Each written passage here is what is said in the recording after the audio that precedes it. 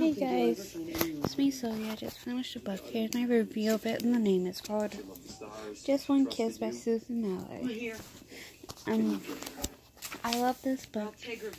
Great story. I love this author's book. Okay, bye. See you guys after I finish the next book because I'm almost done with it. Okay, bye bye.